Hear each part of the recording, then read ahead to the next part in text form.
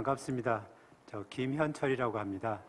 어, 먼저 이런 그 좋은 자리에 어, 초대해 주셔서 감사드리고요. 오늘 저는 이제 그 앞에 많은 분들이 좋은 그 교육을 해 주셨는데 어, 실제 이제 교육이라기보다는 제가 실제 그 업무를 통해서 이 알게 된 또는 그 해석을 하게 된 거에 대해서 여러분들하고 같이 좀 어, 공유를 할 수 있는 시간을 좀 가져보도록 하겠습니다. 그래서 저희가 이제 시작을 할 때 ICH Q 트리오라고 이제 시작을 했는데 사실은 이때 이후로 저희가 Q11, 12 지금은 12까지 발효가 됐고 그 다음에 13번과 14번은 현재 지금 그 저기 그 규정 마련이 지금 진행되고 있습니다. 그래서 꼭 Q 트리오에 국한돼서라기보다는 전체 ICH 가이드라인 해석, 해석을 통해서 저희가 어떻게 어, 산업계에서 실행을 하는 게 좋을지 같이 한번 생각해 보는 시간을 갖도록 하겠습니다. 예, 제 발표에 앞서서 어, 저희가 이제 그 ICH 가이드라인이 어, 떤 국제 조화를 시작을 하고 이, 이 발전된 산업 그 트렌드를 따라가기 시작한 게 2000년도 어, 초중반이었습니다. 어, 그때 이제 ICH 트리오라고 하는 어, Q8, 9, 10에 대해서 발효가 됐고 어, 지금 한 10여 년이 지났는데 이 현재 이 10년이 지난 시점에 실제 품질 관리 업무, 업무에 어떻게 적용이 되고 있는지 한번 살펴볼 예정이고요. 그다음에 그걸 하기 전에 규정에 대한 실질적인 해석과 적용에 대한 내용을 공유해 보고자 합니다. 결국 저희가 이런 시간을 갖는 이유가 어, 국제적으로 조화가 된 이제 그 가이드라인이지 않습니까? 엄격한 법규라기보다는 그래서 이런 규정을 좀 충실하게 어, 해석하고 준수하면서도 결국에는 업계에서 유연한 그 품질 시스템을 디자인하고 적용하는 데 좀 도움을 어, 갖고자 어, 진행을 하게, 하게 되었습니다. 먼저 저 제가 말씀드릴 부분은 두 가지로 구성이 되어 있는데요. 첫 번째 파트가 어, 현재 규제에 대한 규제 당국의 어, 해석 측면입니다. 어, 먼저 ICH Q3G에 대해서 규제 당국에 대한 기대 사항과 해석을 어, 한번 정리를 해보았습니다. 저희가 어, XY축에서 Y축에 대해 Y축을 그 management 그 manufacturing site에 대한 리스크라고 보고요. 그다음에 X축을 product와 process risk 측면으로 봤을 때 저희가 ICH Q10은 보시는 바와 같이 Y축에 있는 그 manufacturing site에 대한 리스크를 낮출 수 있는 방법을 제시를 하고 있고요. 그 다음에 어, X축의 product and process risk는 ICH Q8에서 그 리스크를 낮출 수 있는 방법을 제시를 합니다. 이 별표로 표시된 게 저희가 이제 실제로 어, Q10과 Q8을 그 실행할 때 사용할 어, 이 risk management tool이라고 볼 수 있겠습니다. 그래서 저희가 결, 결과적으로 추구하고자 하는 것은 어, 지속적인 어, 개선을 통해서 리스크를 0 쪽으로 수렴시켜 보자는 게 ICH 시리즈, 어, ICH-Q 시리즈의 어, 목적이라고 할 수 있겠습니다. 네, 이 슬라이드는 ICH-Q 시리즈를 저희가 product life cycle에 맞춰서 한번 정리를 해보았습니다. 어, 이 좌측에 보시면 어, 프로세스와 material, facility에 대한 디자인부터 시작을 해서 마지막에 어, 고객에게 어, 제품이 전달되는 전 그 프로세스를 언급을 하고 있고요. 어, 좌측에 디자인, 즉 development 측면에서는 Q8이 커버를 하고 있고 우측으로 갈수록 즉 manufacturing과 고객에 전달되는 그 제품의 이용성은 ICH Q10이 커버를 하고 있고요. 전체적인 사이클에서 어, quality risk management를 Q9이 커버를 하고 있습니다. 네, 이 슬라이드가 어, 이 Q, Q 트리오 시리즈를 적용을 했을 때 저희가 어, 그 도달하고자 하는 뭐 목적을 어, 설명하는 슬라이드로 볼 수 있겠습니다. 전체 이제 도, 그 원의 크기를 놓고 처음 process understanding 즉 개발부터 마지막에 허가 후 어, change 관리까지를 나열을 하고 마지막에 리스크라는 파이를 놓고 봤을 때 이 상태에서 Q8과 Q9을 적용하게 되면 보시는 바와 같습니다. 즉 process understanding이 전체적으로 어, 그 scope를 확장을 하고 있고요. 어, 이것에 따라서 저희가 어, 리스크는 많이 줄어들게 되고 다음에 어, 단순 허가 후 change 관리하던 거를 한 발 더 나가서 어, continuous improvement, 즉 지속적인 개선을 하고자 하는 게 목적입니다. 어, 이걸 적용을 했을 때 어, CMC 리뷰와 inspection, qual, company의 quality 시스템의 어, 크기는 그렇게 어, 변화하지 않습니다. 여기에 ICH Q10과 Q9을 적용하게 되면 어, 전체적으로 process understanding은 그 파이가 더 커지는 것을 보실 수 있고 ICH Q10에 따라서 어, CMC 리뷰와 inspection에 대한 그 effort들이 많이 줄어든 것을 보실 수 있을 겁니다. 그리고 노란색 선을 보면 이제 단순한 허가 자료의 change의 control이 아닌 어, continuous improvement를 남기, 남김으로써 전체적인 리스크가 아주 작아짐을 확인하실 수 있을 겁니다. 이 어, 슬라이드를 통해서 저희가 이 ICH Q8과 그다음에 10과 이거를 어, 지원하는 Q9을 사용을 했을 때 저희가 어떠한 어, 목적을 달성할 수 있을지 알아볼 수 있을 것 같습니다. 네, 이 슬라이드는 어, 이전에 연자들께서도 많이 사용을 하셨고 아마 여러분들께서도 IC Q10을 통해서 많이 보셨을 겁니다. 그러면 저는 그 이전의 연자와 달리 이 어, 장에서 과연 이제 임상 제품과 commercial 제품에서 어떻게 우리가 이 ICH Q10의 pharmaceutical quality system을 이해하고 해석을 해야 될지 말씀을 드려보도록 하겠습니다. 네, 전체 어, ICH Q10에서 어, 요구하는 게 어, product life cycle management입니다. 그래서 개발에서부터 제품이 시장에서 철수되는 이 전체 프로세스에서 어, 이 pharmaceutical quality system이 어, 지원을 하고 있고요. 어, 최근에 이제 보시면 이거에 따라서 아마 업계에 계시는 분들은 그걸 느끼시겠지만 이 과거에 좀 gray area로 남아 있었던 임상 제품용 GMP에 대해서 최근에 어, 규정이 좀 더 명확해지고 있고 어, 관리가 더 타이트해지고 있음을 아실 수 있을 겁니다. 그리고 어, GMP 박스를 보게 되면 과거의 GMP는 거의 오른쪽 두 개의 어, area를 커버했다고 어, 보실 수 있을 겁니다.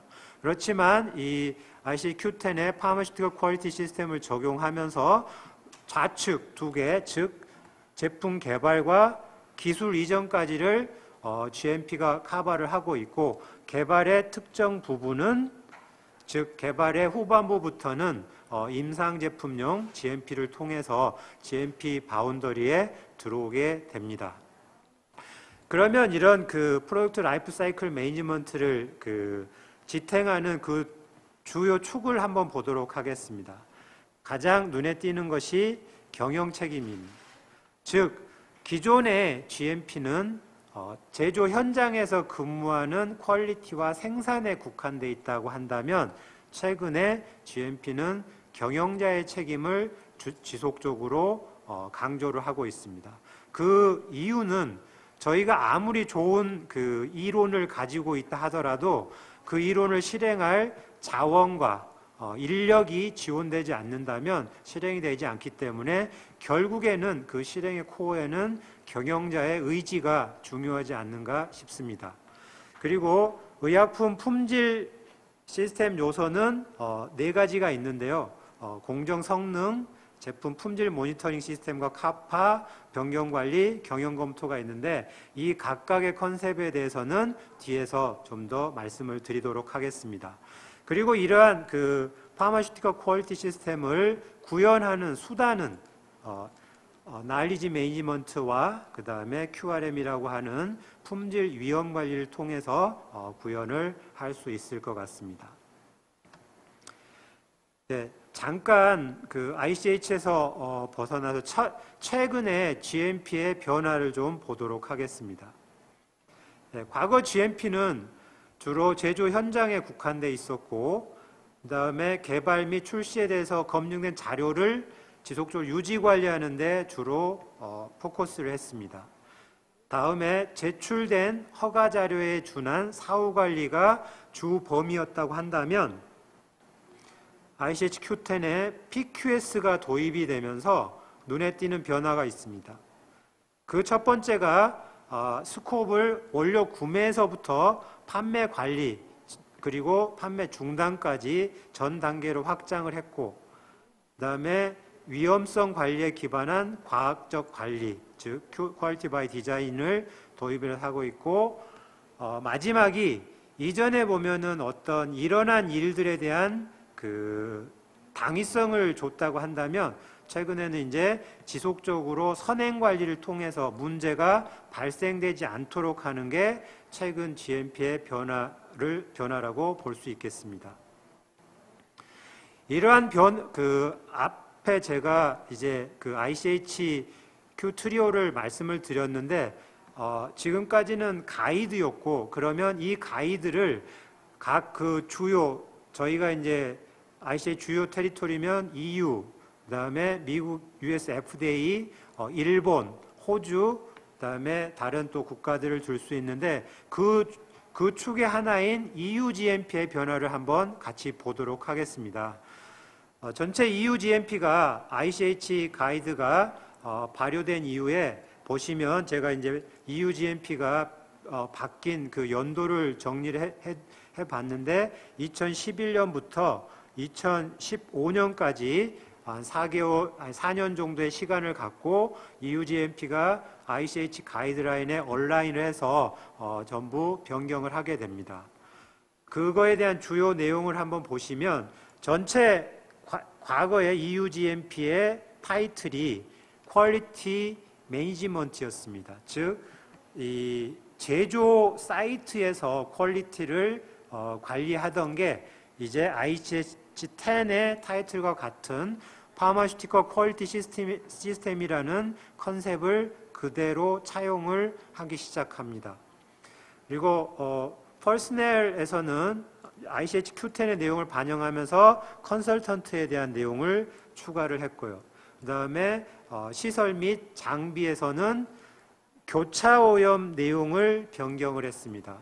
자, 그러면 이게 교차오염 변경 내용이 왜 ICH 그 트리오를 반영을 했냐고 보면 ICH 그 Q 시리즈가 그 기본적인 컨셉을 보면 어떤 명확한 디렉션을 하라 하지 말라를 이야기를 해주는 게 아니고 업체가 위험 평가를 통해서 그게 억셉터블 한지 아닌지를 판단하게 돼 있는데 이게 그 내용입니다. 즉 과거의 EU에서는 시설 분리에 대한 요건을 명확하게 이야기를 했습니다. 즉 페니실린은 분리를 해야 된다. 어, 세포 독성이 있는 거는 전용의 시설을 사용을 해야 된다. 이렇게 명확하게 했던 거를 이 시설 분리의 필요성 여부를 어, 독성하게 근거해서 어, 평가를 한 다음에 정말로 전용의 시설이 필요한지를 업체가 판단하라 이렇게 어, 변경을 하게 됩니다. 그 다음에 다큐멘테이션에서는 최근에 이- 그 활용이 되고 있는 전자문서를 반영을 했고, 프로덕션에서는 어, 3번과 동일하게 교차오염의 관리, 그 다음에 API의 어, GMP 의무, 의무를 반영을 했고요.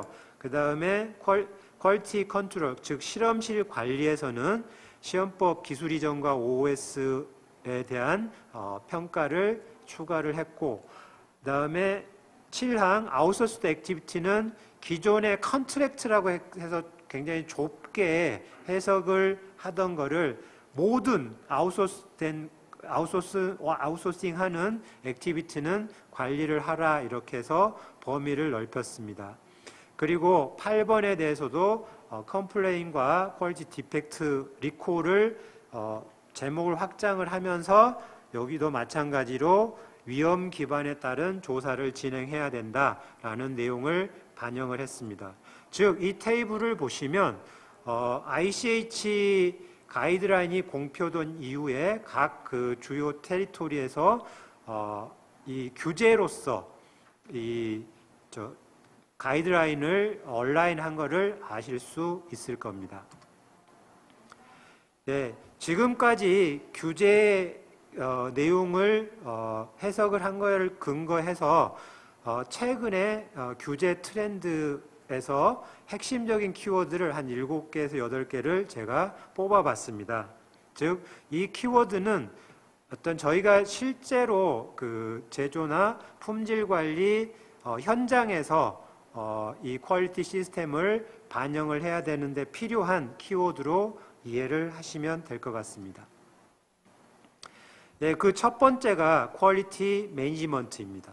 즉 quality는 어떤 그 개인이나 어떤 직접적인 그 부서에서의 그 책임이 아닌 전사적이고 어, 경영진의 책임이라는 게 첫 번째 네, 키워드이고요. 그 다음에 두 번째 키워드가 리스크 베이스드입니다.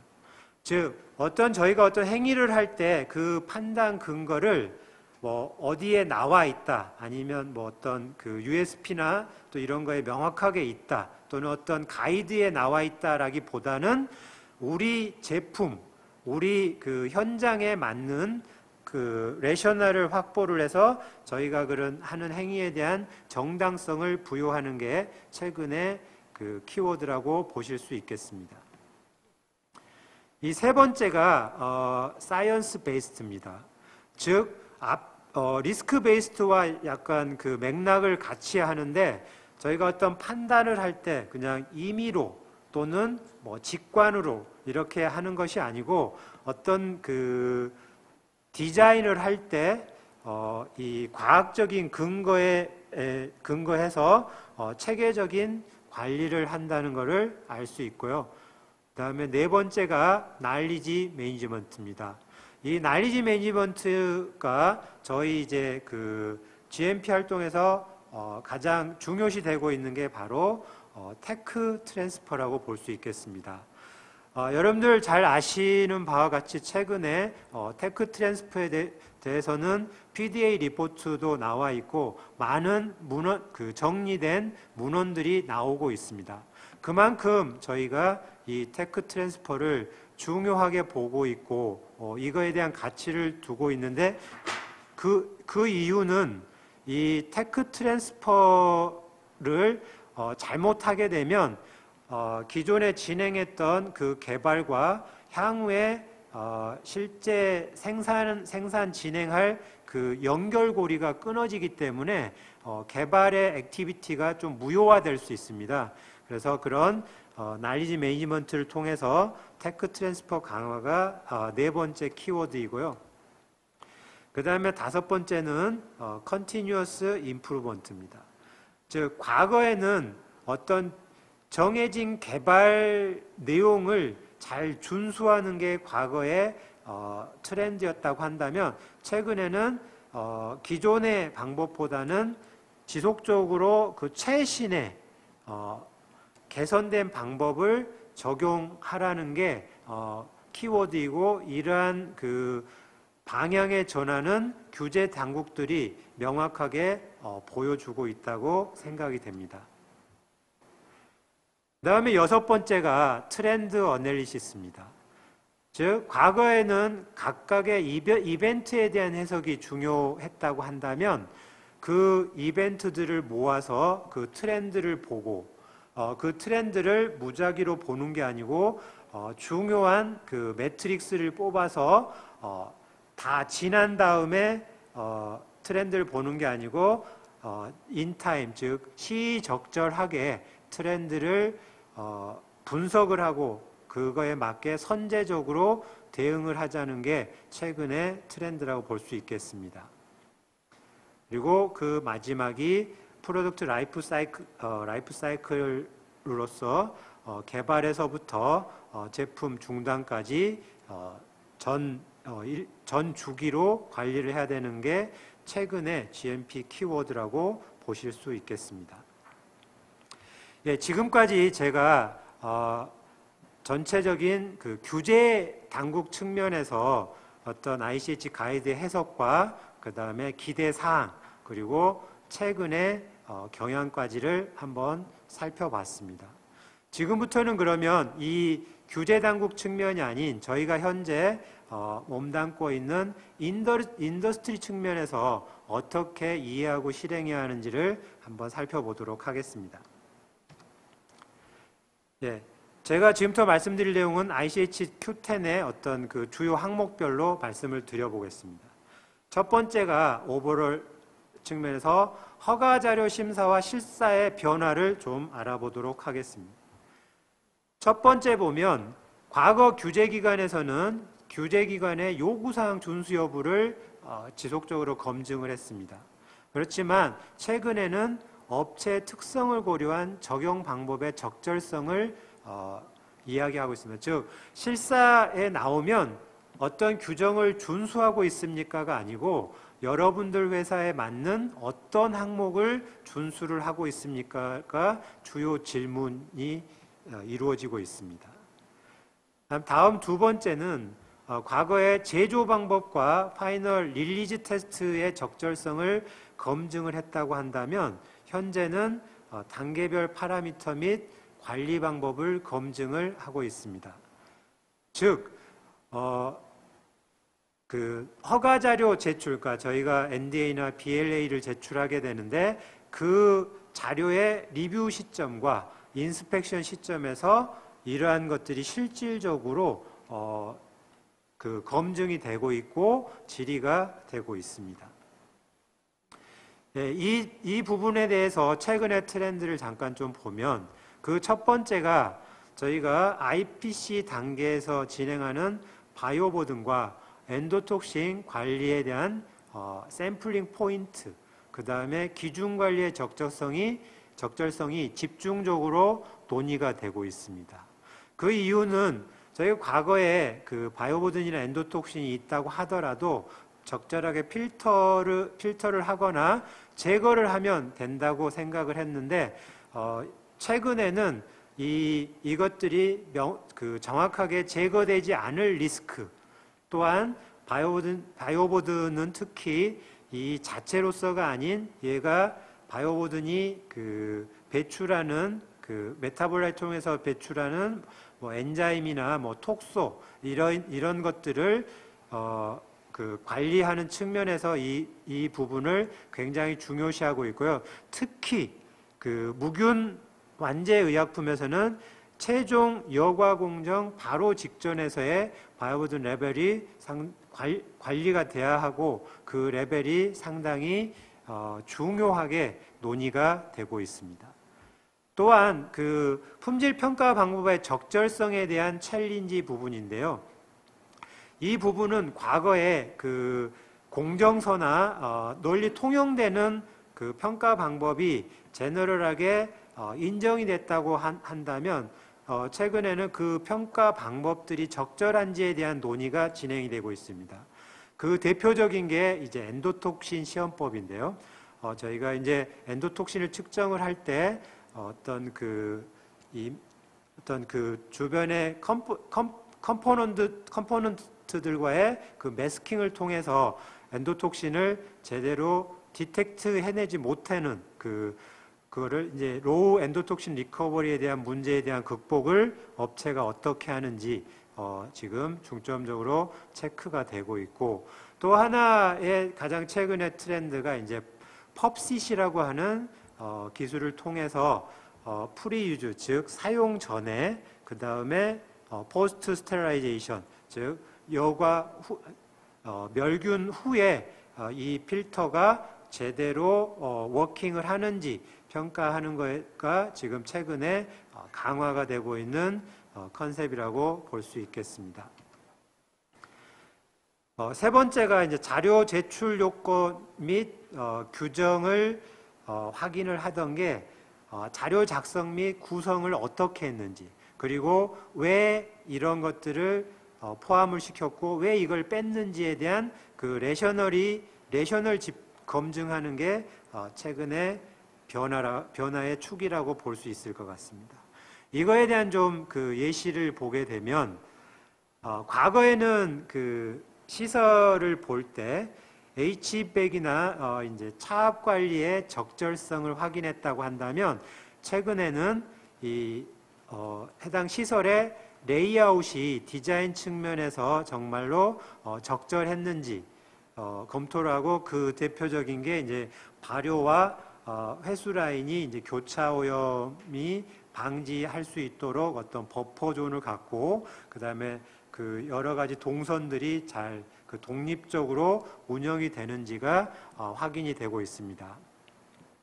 그다음에 두 번째가 어, 환경 모니터링 부분인데 이 환경 모니터링에 대해서 과거에는 이 환경 모니터를 하고 있고 그 다음에 그 결과가 적합한지를 어, 주로 봤다고 한다면 어, 최근에는 이 material이 정말로 제대로 이동을 하는지 여기에 material만 얘기했는데 personnel과 waste가 같이 포함이 되고요. 어, 제가 이제 material에 대한 예시를 든 이유는 특히 과거에 좀 이제 safe하다고 봤던 동결 건조 후 어, capping 과정까지의 이동 적절성이 좀 리스크로 어, 부각이 됐고 그래서 어, 동결 건조 후에 capping 완전히 capping이 되기 전까지 그레이드 A 컨디션에서 이동이 돼야 된다고 명시를 하고 있고 그다음에 또 멸균 후 제품 제품이 멸균된 다음에 어, RABS 그러니까 그레이드 A 컨디션까지 이동을 할 때 그 이동 동선도 마찬가지로 어, grade A 조건이 돼야 된다는 이런 그 실질적으로 그 과정을 중요시하는 쪽으로 어, 이동이 되고 있습니다. 세 번째로 어, 예시로 볼 게 이제 그 aseptic process validation 즉 media fill test라고 하는 것들이 과거에는 어, 이제 이 결과가 적합했습니까라고 묻던 게 어, 좀더 어, 앞으로 리스크를 더 앞당겨서 그레이드 A 환경 내에서 작업 조건이 적절한지 어, 그 집중 검증을 하는 쪽으로 지금 최근에 실사의 어, 트렌드가 변화되고 있습니다. 네, 다음 경영 책임 부분을 한번 같이 생각해 보도록 하겠습니다. 네, 실질적으로 최근에 보면 이제 경영 경영진 경영진 분들의 인식의 변화는 확실히 과거보다는 어, 커진 것 같습니다. 즉 어, 불완전한 어, 품질 관리는 어, 대규모 프로젝트 중단이나 어, 이 품질 이슈 때문에 전체적인 타임라인이 지연될 수 있다는 것을 어, 경험을 통해서 알 수 있게 됐고 이, 이게 이제 결과적으로는 기회와 금전적 손실을 일으킨다는 것을 경영, 최근에 경영진께서 좀 인식을 하시게 된 것 같습니다. 그럼 저는 이제 실질적으로 이런 경영 책임을 어, 현장에 적용을 할 때 어떻게 해야 될지를 좀 같이 봐보도록 하겠습니다. 네, 어느 날 갑자기 경영진이 어 그래 어, 여러분들 열심히 하고 있으니 내가 모든 걸 도와주겠다 이렇게 하지는 않습니다. 그 그래서 제가 어, 몇 가지 단계를 해봤는데요. 어, 첫 번째는 정기적으로 리뷰 보드를 구성할 필요가 있겠습니다. 그래서 각 회사별로 아마 지금 용어는 다르겠지만 아마 운영을 하고 계실 것 같고 다음이 이제 quality에서 좀 신경을 써야 될 게 회사의 경영 목표를 quality의 언어로 해석을 해서 온라인을 시켜줄 필요가 있겠습니다. 즉 어느 회사나 매출이나 영업이익을 목표로 어, 가져갈 것입니다. 그러면 이거를 이제 quality 어, 언어로 해석을 하게 되면 결국에는 현장에서의 failure ratio 관리를 어, 목표로 가져간다면 이게 결국엔 매출과 영업이익으로 이익 그 연관된다는 것을 경영진이 인식을 하게 되면 좀 더 관심을 갖고 어, quality 실행에 대해서 좀 더 적극적으로 협조를 하실 것으로 생각이 됩니다. 그래서 세 단계로 나눠 보면 첫 번째 단계에서는 방금 같은 걸 통해서 경영진의 관심 유도가 필요합니다. 그래서 관심이 이제 어느 정도 유, 어, 어, 개시가 됐다고 한다면 두 번째 step에서는 관심을 지속적으로 유지를 시켜줘야 됩니다. 이 부분에서는 어, 지속적으로 관심을 가지려면 언제든지 quality에 대한 어, 그 현, 현황을 쉽게 접근을 할 수 있어야 되는데요. 그게 어, EQMS입니다. 그래서 EQMS의 퀄리티 지표를 어, 정리를 하고 경영님께서 언제든지 쉽게 접근을 할 수 있도록 유도를 하는 게 중요할 것 같습니다.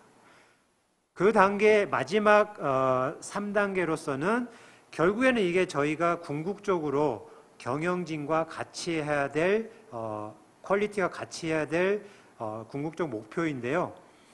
결국엔 이런 QMS 모니터링을 통해서 이 회사의 투자와 어, HR 관리를 같이 온라인해야 하는 게 어, 궁극적인 목표라고 볼 수 있을 것 같습니다. 이게 된다고 하면 자연스럽게 경영 체, quality 운영에서 경영 책임이 구현이 될 것 같습니다. 다음은 전, 전 그 슬라이드에서 봤던 그 프로젝트 life cycle에서 임상 GMP에 대해서 잠깐 보도록 하겠습니다. 이 전에 그 슬라이드, 슬라이드에서 말씀을 드렸지만 최근 프로젝트 life cycle management에 따라서 과거 gray 부분으로 남아 있었던 임상의약품 GMP에 대한 가이드가 최근에 명확화됐습니다. 그리고 또한 어, 여러분들 다른 그 섹터에서 보셨던 ICH Q5E에 있는 comparability 가이드라인에서 comparability study 평가를 강화를 하고 있고요. 그 다음에 임상은 그 전임상부터 임상 3상까지 단계별로 어, 적용해야 될 수준이 좀 다를 수 있습니다. 그래서 선택적 적용을 해야 되는데 그, 그 주축이 change control과 어, validation입니다. 즉 임상 임상 1상이나 전임상은 이 제품이 임상 3상까지 가리라는 어, 보장이 없습니다. 그래서 이 단계에서부터 change control을 너무 과하게 적용을 하게 되면 어, 프로젝트의 지연 사유도 되고 어떤 그 데이터가 부족한 상황에서 어, 엉뚱한 방향으로 갈 수 있습니다.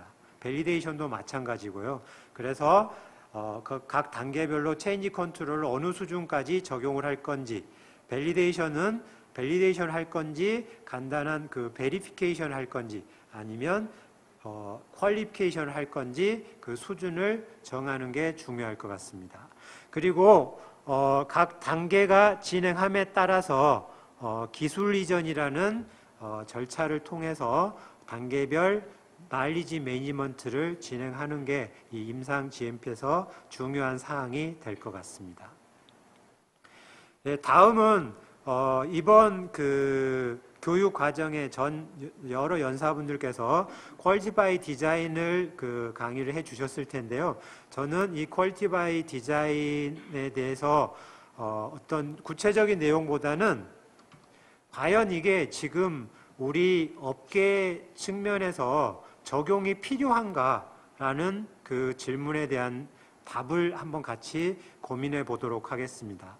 먼저 저에 대한 답은 저라고 하면 이제 그 저는 이제 상업 임상과 상업 제품을 담당하는 공장 사이트의 퀄리티로 근무를 하는데 그 입장에서 보면 QBD 적용은 필요한가라고 했을 때 답은 yes라고 할 수 있겠습니다. 그 이유를 말씀을 드리면 첫 번째 기술 이전 단계에서 데이터가 아닌 knowledge transfer를 원합니다. 즉 과거에 저희가 연구 단계에서 어, 연구된 제품을 받을 때 어, 그 개발 보고서라는 보고서를 통해서 어, 어떤 잘 정화된 데이터를 받았습니다. 그러다 보니까 그 데이터를 실제 commercial 라인에서 구현을 해보려고 하면 잘 안 되는 게 통상적인 예였습니다. 그래서 그 과정 중에 어떤 일들이 있었는지 그 knowledge를 transfer 해주면 이 개발 제품을 상업화를 위해서 생산하는데 시행착오를 많이 줄일 수 있을 것 같습니다. 네, 이 부분 제가 방금 말씀을 드렸고요.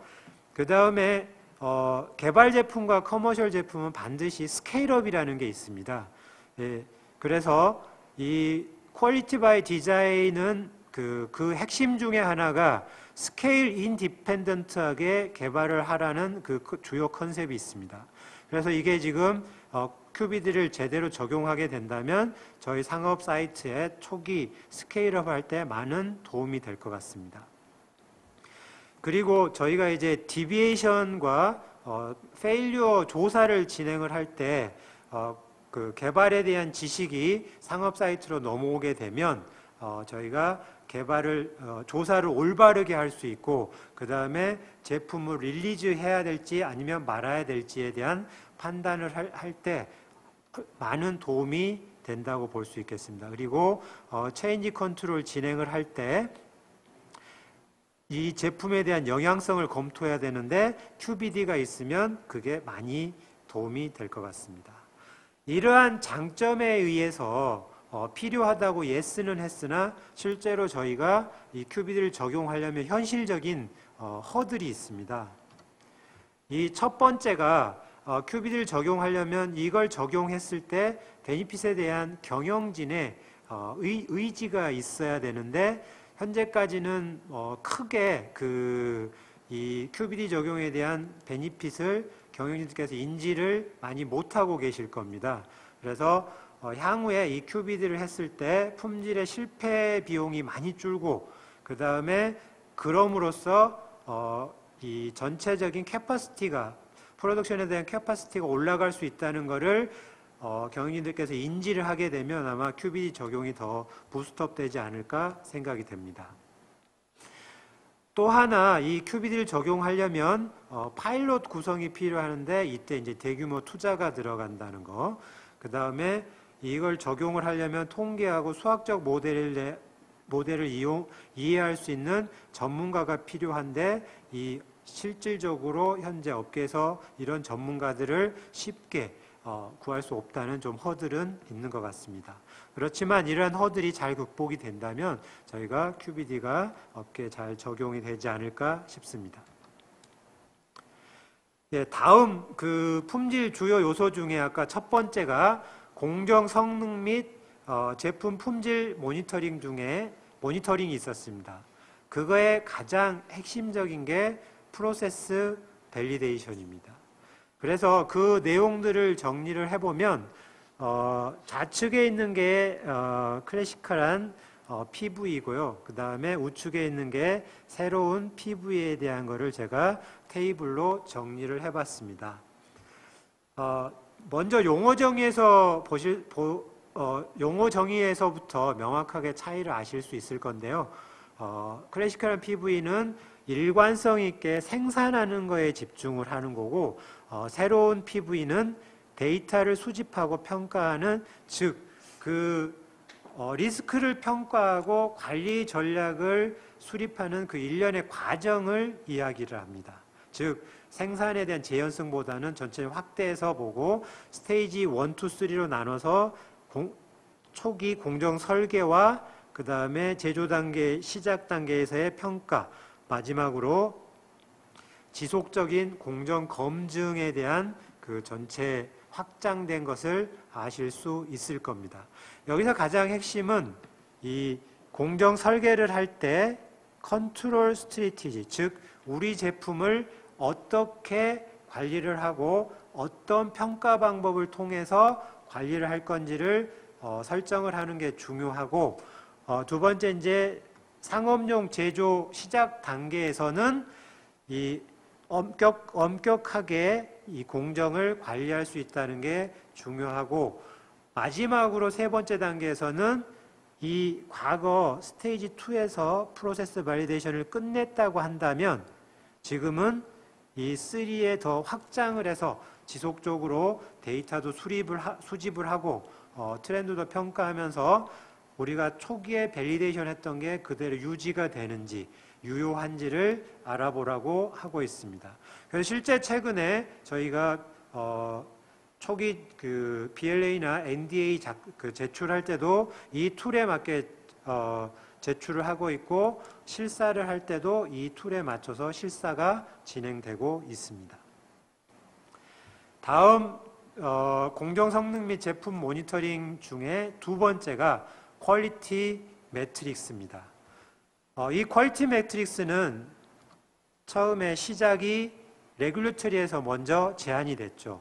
그 목적은 업체 평가가 아닌 어, 실사 프로그램에 활용하고자 하는 게 레귤레터리 측면에서 시작을 한 거고 그래서 최소한의 지표를 활용을 할 거고 업체 간의 순위를 매기는 용도로 쓰진 않겠다라는 목적으로 시작을 했는데 그 내용은 좌측 그림에 있는데요. 어, 이게 이제 이 quality metrics로 적절한가라는 거 했을 때 그 아이템들은 이 좌측에 있는 그 부분과 그 다음에 우측 하단에 있는 부분, 중간에 있는 부분, 세 부분이 있을 수 있는데 이, 이 규제 기관의 어, 요구에 가장 부합한 게 이쪽 맨 오른쪽 하단에 있는 그 지표들입니다. 맨 오른쪽 하단에 있는 지표들은 사과나무 어, 아래쪽에 있고 잘 익은 사과들이라서 어, 따기도 수월하고 그 다음에 땄을 때 그 맛도 훌륭한 것들이고 그 지표들을 보면 배치 실패율 그 다음에 고객 어, 고객 불만 그 다음에 OOS 이런 것들이 어, 지표로 되, 고 있고 이 부분이 지금 실제 FDA에서 어, 차용이 되고 있습니다. 이제 레귤레터리 측면에서 이 부분이 필요했다고 한다면 업계 측면에서는 이런 그 지표를 어, 디테일한 지표를 관리하는 것보다는 이 효과적으로 어, 추출을 해냈을 때 그 효과성이 충분히 올라가고요. 그 다음에 회사별 상황도 고려가 되고 투입되는 리소스를 관리한다고 봤을 때 업계 입장에서는 이쪽을 어, 타겟으로 하는 게 효율성이 더 클 수 있을 것 같습니다. 왜냐하면 어, 좌측 어, 상부에 있는 거는 어, 하부에 있는 사과보다는 훨씬 더 큽니다. 더 크고 땄을 때그 효과도 훨씬 크고요. 다만 어, 우측 하단보다는 어, 따기가 어렵다는 그 단점은 있습니다. 그렇지만 이걸 극복했을 때는 여러 효과를 어, 누릴 수 있을 것 같습니다. 다음 그 품질 어, 운영 요소 중에 한 축인 어, 시정 및 예방 조치입니다. 가파가 필요한 이유는 그림을 보시면 맨 오른쪽에 있는 게 이제 개발 단계입니다. 개발 단계에 1이라는 비용이 됐다고 한다면 저희가 제품 개발이 끝난 시장에 어, 나간 데서 문제가 생길 경우에는 그 거의 1000배에 가까운 비용이 소요가 됩니다. 그래서 여기는 오른쪽은 예방 비용이라고 할 수 있고 어, 왼쪽은 외부의 실패 비용이라고 할 수 있을 것 같습니다. 즉 우리가 CAPA를 하고자 하는 이유는 최소한 이 부분에서 저희가 control을 해보고자 하는 게 이거의 목적이라고 할 수 있겠습니다. 그래서 CAPA는 지속적인 그 개선과 quality event의 재발 방지를 해서 어, 필수적인 활동이고요. 그 다음에 어떤 문제가 생겼을 때 root cause analysis의 주- 중요성을 어, 알아내는데 중요합니다. 저희가 이제 어떤 그 이벤트가 생겼을 때 조사를 하게 되는데 이게 지금 현재 저희가 좀 어, 접근하고 있는 좀 방법인 것 같습니다. 근데 옳은 방법은 아니고 좀 더 개선을 해봤으면 하는 게 저희는 조사할 때 보면 주로 휴먼 에러나 샘플링 또는 평가 오류로 너무 빨리 규결, 귀결을 합니다. 그러면 그거에 따라서 이제 어, 후속 합파는 교육으로 되고요. 그러다 보니까 충분히 루트 코스를 그 파악해내고 커렉션을 못하다 보니까 동일 이벤트가 반복되고 재교육을 하게 되고 그래서 이런 것들이 반복하다 보니까 카파 자체보다는 어떤 그 절차를 위한 절차가 진행되는 그 우를 범하는 것 같습니다. 그렇지만 CAPA는 root cause를 어, 발견해내고 correction하는 게 주요한 거고요. 그리고 CAPA를 실행할 때 가장 중요한 부분은 바로 이 부분이라고 할 수 있겠습니다. 저희가 수립한 CAPA가 제대로 돼 있는지 경향 분석이나 qualification, validation, 자율 점검을 통해서 이 평가를 하는 게 중요하다고 볼 수 있습니다. 라이프 사이클 동안에 CAPA가 적용이 돼야 될 거고요. 예, 제가 어, 숨가쁘게 지금 이 처음 하다 보니까 어, 페이스 조절을 잘 못한 것 같아요. 좀 너무 급하게 어, 말씀을 드렸다면 좀 양해를 부탁을 드리고요. 그다음에 처음 이걸 하다 보니까 좀 매끄럽게 보이지 못한 부분이 있었다면 좀 많은 양해를 부탁드리겠습니다.